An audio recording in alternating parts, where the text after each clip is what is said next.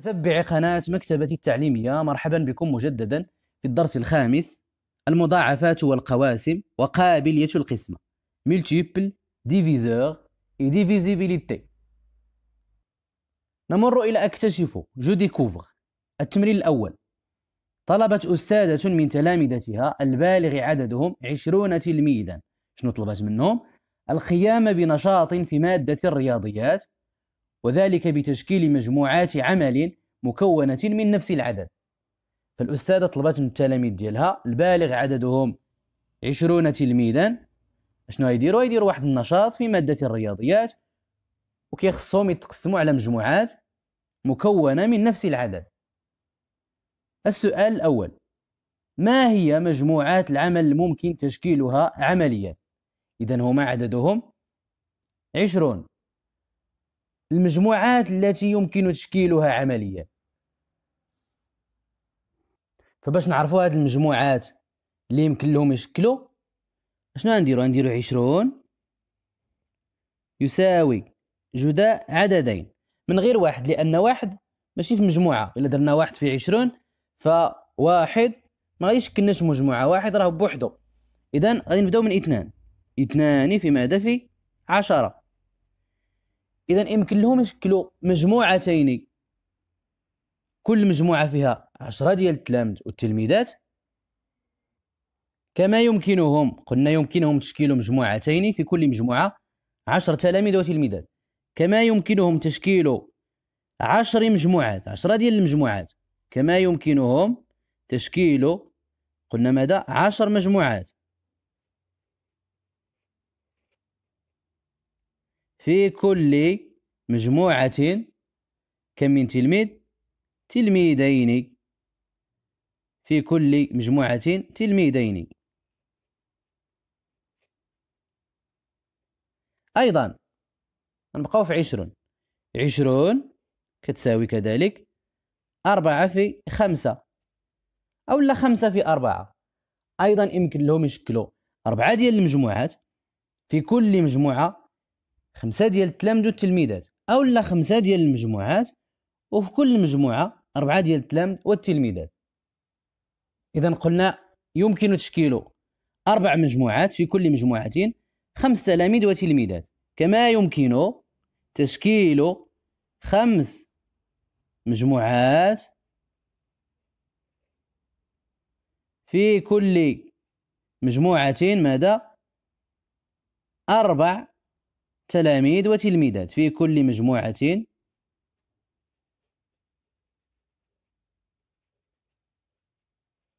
أربع.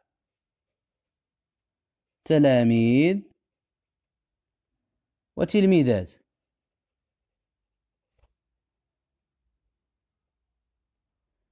إذا غادي نعاود. قلنا يمكن لهم يشكلوا مجموعتين. كل مجموعة فيها عشرة ديال التلاميذ والتلميذات. كما يمكنهم تشكيل عشرة ديال المجموعات. كل مجموعة فيها تلميذين أو تلميذ وتلميذة أو تلميذتين. كما يمكنهم أيضا تشكيل أربع مجموعات في كل مجموعة في كل مجموعة خمسة ديال التلاميذ والتلميذات. وأيضا يمكنهم تشكيل خمسة ديال المجموعات في كل مجموعة أربع تلاميذ وتلميذات. السؤال باء. في الفصل المجاور تم تشكيل مجموعات عمل بكل منها ثلاث تلاميذ. ما هو عدد تلاميذ هذا الفصل إذا كان محصورا بين 28 و 31 يعني في القسم المجاور تم تشكيل مجموعات عمل بكل منها كل مجموعة فيها ثلاثة ديال التلاميذ والتلميذات. ثلاثة ثلاثة كل مجموعة ثلاثة. ما هو عدد تلاميذ هذا الفصل؟ شحال هو عدد تلاميذ هذا القسم؟ إذا كان محصورا بين 28 و 31 فالأعداد محصور ما بين 28 و 31 فالأعداد اللي محصورة ما بين 28 و 31 شنو هي؟ 28 29 30 إذا عندنا عددين 29 و 30 إذا عدد تلاميذ هذا الفاصل واش غادي يكون؟ 29 ولا 30 باش غادي نعرفوها. غادي ناخذ 29 ونقسموها على 3 واش يمكن ولا يشيط لنا شي حاجة؟ اذا 29 نقسموها على 3 فكنلاحظوا 29 على 3 غادي نضربوا في كام نضربوا في 9 9 في 3 27 شحال غيجي لنا؟ 9 ناقص 7 2 اذا غادي يشكلوا تسع مجموعات وتبقى لهم جوج. اذا ما يمكنش. فخص كل مجموعة تكون فيها ثلاثة وما يشير حتى حاجة. اذا غادي ناخذ 30 ف 30 إلى قسمناها على 3 سنحصل 30 على 3 سنحصل على 10 اذا هما في كل مجموعة 3 فبالتالي غادي يكونوا 10 ديال المجموعات. اذا عدد تلاميذ هذا الفصل عدد تلاميذ هذا الفصل ثلاثون تلميذا وتلميذة.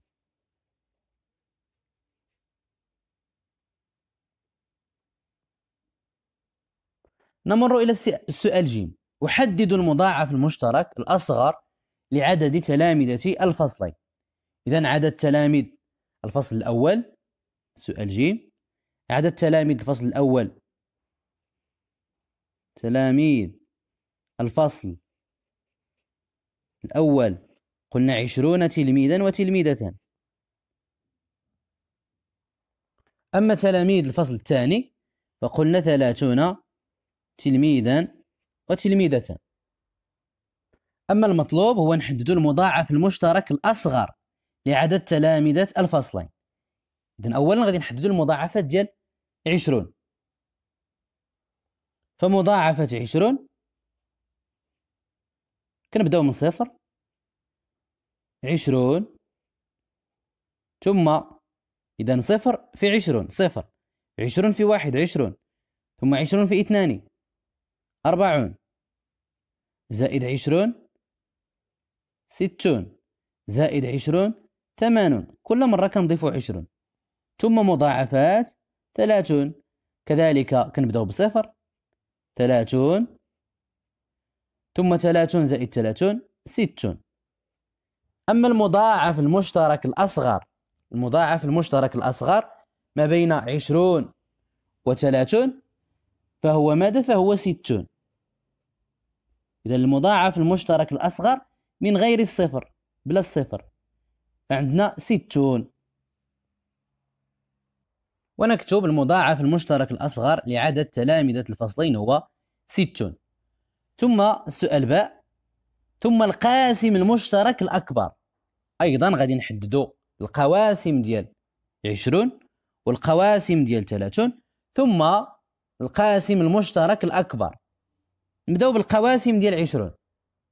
فردوا معايا البال كيفاش كنلقاو القواسم. اذا غادي نكتبوا عشرون ثم غادي نفكوا عشرون على شكل جداء عددين. اذا عشرون يساوي اولا واحد في عشرون. اذا واحد وعشرون قاسمان لعشرون يساوي كذلك اثنان في عشرة. كذلك اثنان وعشرة قاسمان لعشرون. أيضا يساوي خمسة في أربعة. خمسة في أربعة عشرون.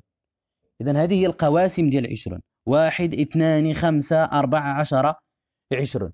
ثم قواسم ديال ثلاثون بنفس الطريقة. ثلاثون يساوي واحد في ثلاثون. يساوي كذلك اثنان في ماذا؟ في خمسة عشر.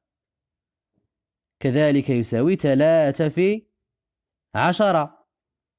أيضا يساوي خمسة في ستة. إذا هذه هي القواسم ديال ثلاثون. واحد اثنان ثلاثة خمسة ثلاثون خمسة عشر عشرة ستة. دابا غادي نحددو القواسم المشتركة ما بين عشرون وثلاثون كاين واحد كذلك اثنان عشرة. خمسة. إذن هذه القواسم المشتركة ما بين عشرون وثلاثون. لكن السؤال المطلوب القاسم المشترك الأكبر. إذا هاد القواسم هادو شكون هو القاسم المشترك الأكبر؟ عندنا عشرة. إذا القاسم المشترك الأكبر هو عشرة. ثم نكتبوا القاسم المشترك الأكبر لعدد تلامذة الفصلين هو عشرة.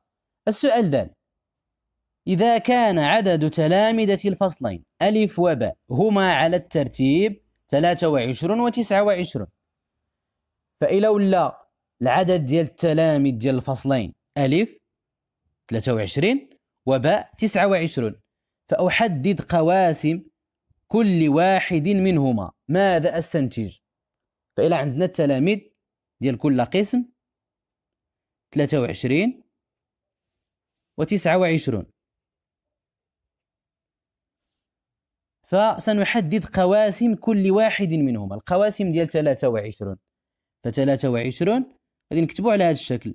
جداء عددين. واحد في 23 يساوي 23 واش عندنا جداء عددين كيعطيونا 23 اذا لا فقط عندنا واحد في 23 ثم 29 كذلك القواسم ديالو واحد ونفسه واحد في 29 فما عندناش جداء عددين آخرين كيعطينا 29 إذا فقط واحد ونفسه. كذلك واحد ونفسه.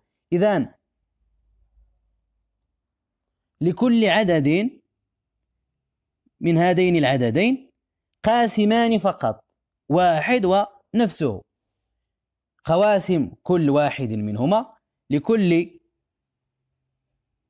عدد من بين العددين قاسمان فقط.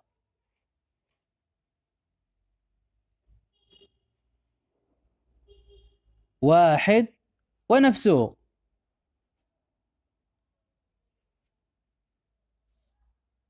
هذا هو الجواب ديال ماذا أستنتج؟ قلنا القواسم ديال 23 واحد وثلاثة وعشرون. والقواسم ديال 29 واحد وتسعة وعشرون. والاستنتاج قلنا لكل عدد من بين العددين خاسمان فقط واحد ونفسه. أما الأعداد اللي كيكون عندها قاسمان فقط واحد ونفسها فكتسمى أعداد أولية. أعداد أولية. إذا 23 و 29 عددان أوليان. وهما عددان أوليان. قلنا الأعداد الأولية هي اللي كيكون عندها فقط قاسمان واحد ونفسها. التمرين الثاني أضع علامة في في الخانة المناسبة بالجدول التالي. إذن سنضع علامة في الجواب الصحيح. يقبل القسم على اثنان يقبل القسم على ثلاثة على أربعة على خمسة على ستة على تسعة وعلى عشرة. فمتى يكون عدد قابل للقسم على اثنان؟ إذا غادي نكتبوا هذه القواعد هادو. نبداو بالقاعدة. ديال قابلية القسم على اثنان. قابلية القسم على اثنان.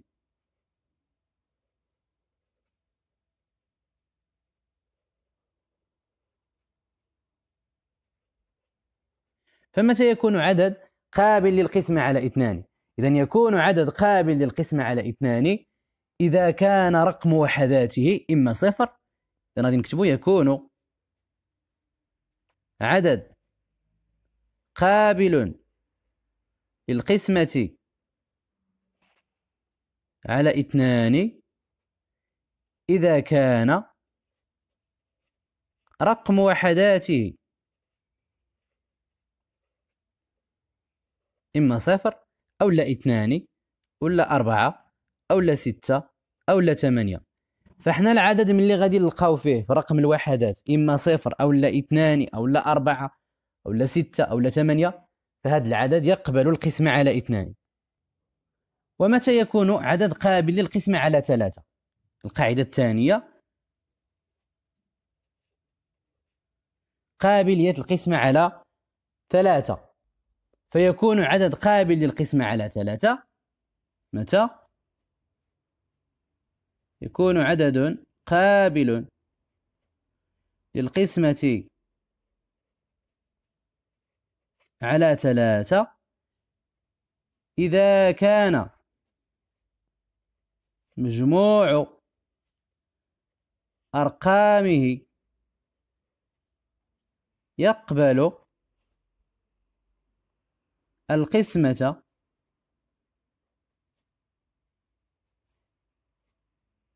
على ثلاثة. فالعدد كنعرفوه بأنه يقبل القسمة على ثلاثة. كنجمعوا الأرقام ديالو. فإذا لقينا الأرقام ديالو كتقبل القسمة على ثلاثة يعني مجموع ديال الأرقام ديالو كيقبل القسمة على ثلاثة فالعدد يقبل القسمة على ثلاثة. ثم القاعدة الثالثة قابلية القسمة على أربعة. فمتى يكون عدد؟ قابل للقسمة على أربعة. فيكون عدد سنكتب يكون عدد قابل للقسمة على أربعة إذا كان العدد المكون من رقمي. وحداته. وحداته. وعشراته. يقبل القسمة على أربعة. إذا باش نفهموا هذه القاعدة هذه فحنا كيكون عندنا واحد العدد كبير. فباش كنعرفوا هذا العدد أنه كيقبل القسمه على أربعة كناخذوا العدد اللي كيتكون من الوحدات والعشرات فقط. فإذا كان كيقبل القسمة على أربعة فالعدد كله كيقبل القسمة على أربعة. ثم قابلية القسمة على خمسة. فيكون عدد قابل للقسمة على خمسة. يكون عدد إذا قلنا يكون عدد قابل للقسمة على خمسة فمتى يكون قابل للقسمة على خمسة؟ إذا كان رقم وحداته صفر أو خمسة. إذا كان رقم وحداته يعني رقم وحدات العدد. إذا كان رقم وحداته صفر أو خمسة. فالعدد كيكون كيقبل القسمة على خمسة؟ إذا لقينا في الوحدات ديالو صفر أو لا خمسة. ثم قابلية القسمة على ستة.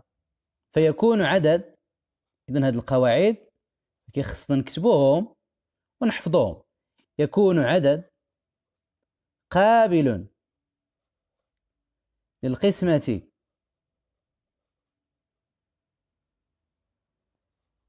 على ستة. إذا كان يقبل القسمة على اثنان وثلاثة في آن واحد. في آن واحد. إذا العدد كيكون كيقبل القسمة على ستة إلا كان كيقبل القسمة على جوج وعلى ثلاثة في مرة واحدة. أما قابلية القسمة على تسعة فالعدد يقبل القسمة على تسعة. إذا غادي نكتبوا يكون عدد قابل للقسمة على تسعة. إذا كان مجموع إذا كان مجموع أرقامه مجموع أرقام العدد يقبل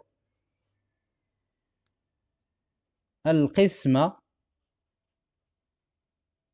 على تسعة. فقلنا العدد كيقبل القسمة على ثلاثة. إلى كان مجموع الأرقام ديال هذا العدد كيقبل القسمة على ثلاثة فكذلك تسعة. إلا حسبنا المجموع ديال الأرقام ديال شي عدد ولقيناه كيقبل القسمة على تسعة فهذا العدد هذا يقبل القسمة على تسعة.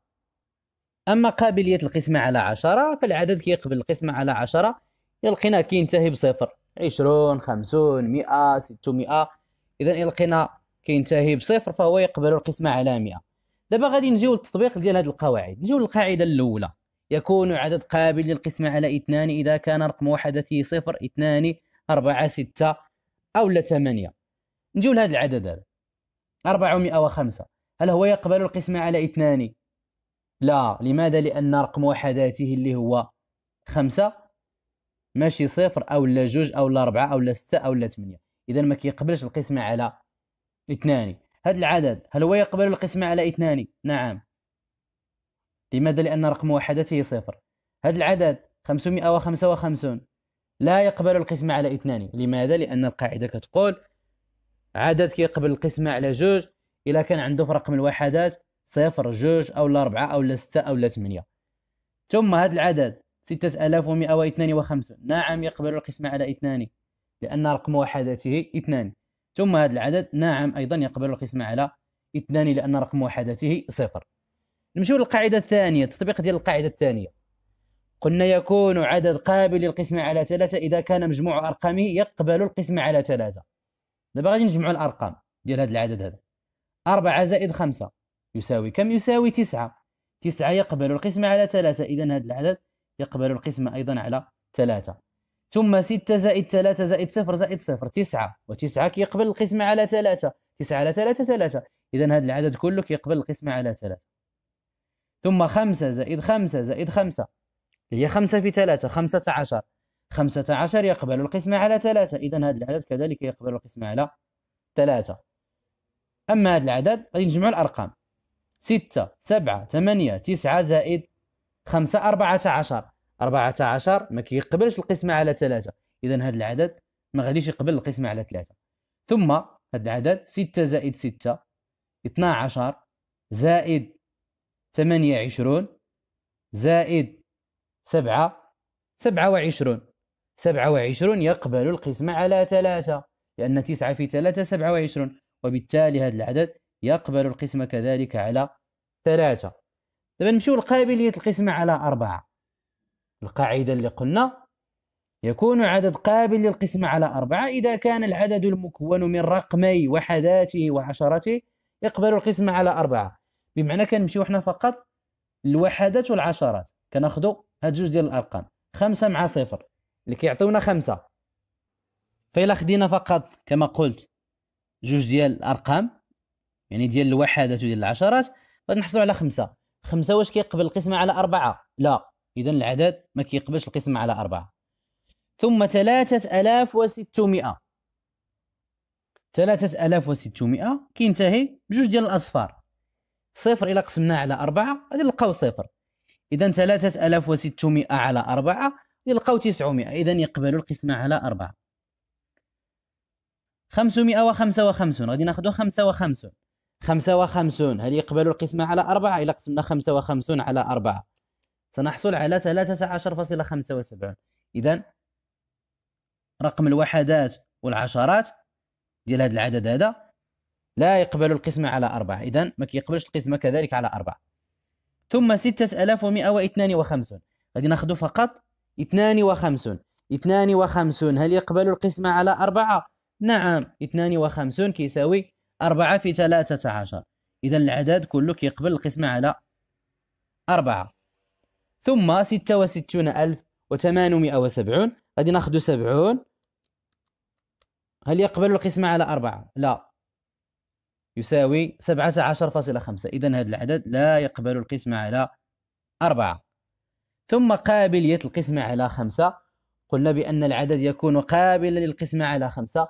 إذا كان رقم وحداته إما صفر أو لا خمسة. نبدأ بالعدد الأول. رقم وحداته خمسة إذا يقبل القسمة على خمسة. رقم وحداته صفر يقبل القسمة على خمسة.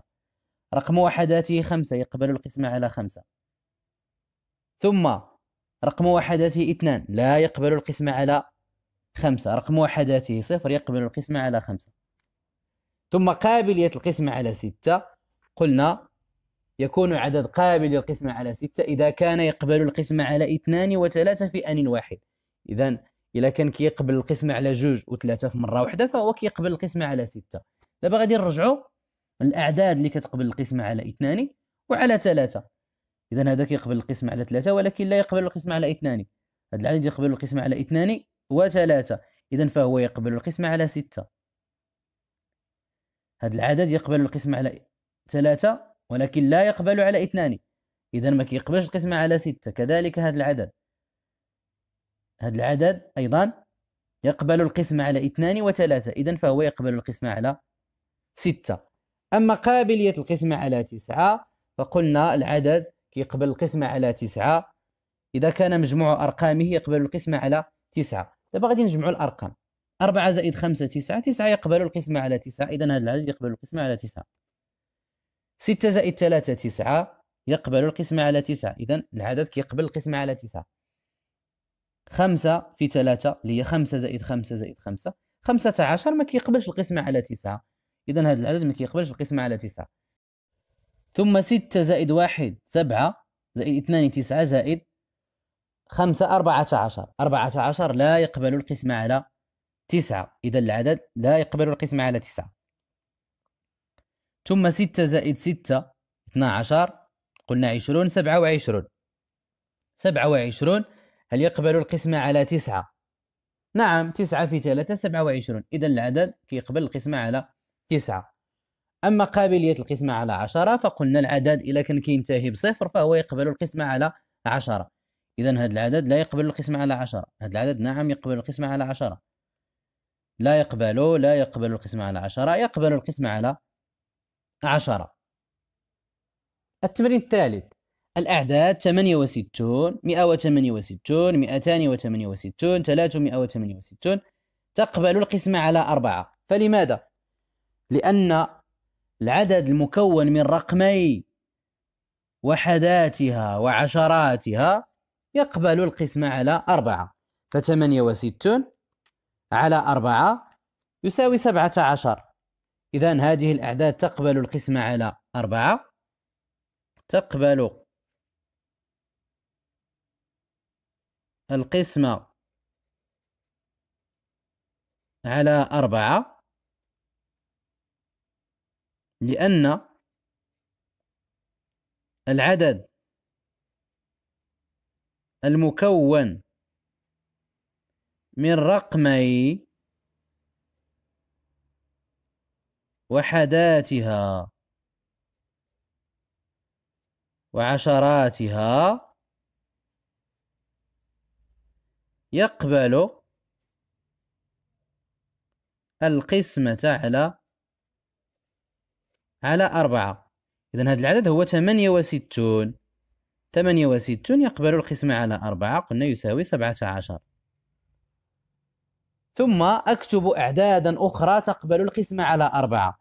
غادي نكتب أعداد أخرى تقبل القسمة على أربعة. فيكفي فقط أننا نكتب في رقم الوحدات والعشرات 68 ثم نضيف أرقام أخرى مثلا 3 4 8 إذن هذا عدد. كذلك من غير 68 عندنا 16 كيقبل القسمة على أربعة. إذا الوحدات والعشرات نضيف هنايا أرقام أخرى. كذلك عشرون يقبل القسمة على أربعة نضيف هنا أرقام أخرى. أيضا أربعة في سبعة ثمانية وعشرون ثمانية وعشرون يقبل القسمة على أربعة ونضيف هنا أرقام أخرى. إذا يكفي فقط أن نكتب العدد المكون من رقم الوحدات والعشرات. هذا العدد هذا اللي مكون من رقم الوحدات والعشرات. نكتب واحد العدد كيقبل القسمة على أربعة ثم نضيفوا الأرقام الأخرى وغادي نحصلوا على عدد يقبل القسمة على أربعة. التمرين الرابع. العددان ثلاثة ألاف وستمائة وستة وستون ألف وثمانمائة وسبعون يقبلان القسمة على ثلاثة وعلى اثنان. أتحقق هل يقبلان القسمة على ستة ولماذا؟ إذا قلنا ثلاثة ألاف وستمائة وستة وستون ألفا وثمانمائة وسبعون. إذا هذا العدد كيقبل القسمة على اثنان وعلى ثلاثة في آن واحد. لماذا يقبل القسمة على اثنان؟ لأن رقم وحداته صفر. ويقبل القسمة على ثلاثة لأن مجموع أرقامه يقبل القسمة على ثلاثة. ستة زائد ثلاثة زائد صفر زائد صفر. يساوي تسعة. تسعة يقبل القسمة على ثلاثة. كذلك يقبل القسمة على اثنان هذا العدد ويقبل القسمة على ثلاثة. لماذا؟ لأن ستة زائد ستة زائد ثمانية يساوي عشرون. زائد سبعة سبعة وعشرون. سبعة وعشرون يقبل القسمة على ثلاثة. تسعة في ثلاثة. وقلنا بأن العدد الذي يقبل القسمة على اثنان وثلاثة في آن واحد فهو يقبل القسمة على ستة. إذا العدد اللي يقبل القسمة. يقبل القسمة على اثنان وثلاثة في آن واحد. فهو يقبل القسمة على ستة. إذا هل يقبل القسمة على ستة؟ نعم. لماذا؟ لأنهما نعم. لأنهما يقبلان القسمة على اثنان وثلاثة في آن واحد. التمرين الخامس أكتب جميع قواسم كل من الأعداد التالية. واحد وثلاثون ثلاثة وعشرون تسعة عشر سبعة عشر ثلاثة عشر إحدى عشر خمسة واثنان. إذا يمكن نرسم هذا الجدول ندير العدد. قواسمه العدد واحد وثلاثون. قواسمه إذا واحد وثلاثون. يمكن نكتبه على هذا الشكل. واحد في واحد وثلاثون فقط. فما يمكنناش نكتبوا عددين آخرين الجداء ديالهم يساوي واحد وثلاثون. إذا قواسم واحد وثلاثون عندنا واحد وواحد وثلاثون يعني نفسه ثم ثلاثة وعشرون. كذلك ثلاثة وعشرون يمكن نكتبوه فقط بهذه الطريقة واحد في ثلاثة وعشرون. إذا قواسم ثلاثة وعشرون عندنا ثلاثة وعشرون وواحد يعني واحد ونفسه. ثم قواسم تسعة عشر. أيضا تسعة عشر. يمكن نكتبوه فقط بهذه الطريقة واحد في تسعة عشر يعني جداء عددين. فقط عندنا واحد وتسعة عشر واحد في تسعة عشر واللي كيعطينا تسعة عشر. إذا القواسم ديال تسعة عشر أيضا واحد ونفسه. سبعة عشر كذلك. واحد وسبعة عشر. ثلاثة عشر كذلك. واحد وثلاثة عشر. إحدى عشر كذلك. واحد وإحدى عشر. خمسة كذلك. واحد وخمسة وأيضا اثنان. إذا عندنا واحد واثنان إذا القواسم ديال هاد الأعداد واحد ونفسها. يعني كل عدد من بين هذه الأعداد قواسمه هي واحد ونفسه. ماذا ألاحظ؟ إذا ألاحظ أن لكل عدد قاسمان فقط.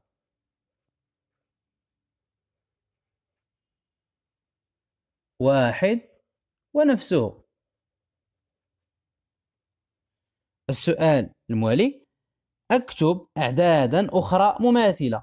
إذا غادي نكتب أعداد أخرى لها قاسمان فقط واحد ونفسها. إذا غادي نكتب أعداد أخرى كتقبل القسمة فقط على واحد ونفسها. ثلاثة. ثلاثة يقبل القسمة على واحد وعلى نفسه ثلاثة. أيضا سبعة. كذلك تسعة وعشرون. سبعة وثلاثون. إذا هذه الأعداد تقبل القسمة على واحد وعلى نفسها.